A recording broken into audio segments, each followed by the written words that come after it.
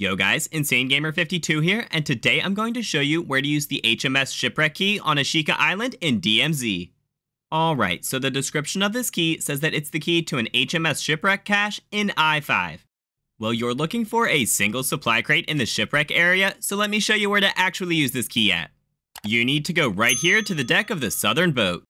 Coming from the west, climb up onto the boat, and the HMS Shipwreck cache will be in this underwater supply crate on the right side of the deck.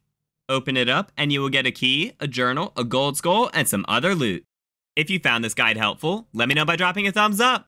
And feel free to subscribe for more in-depth guides in the future.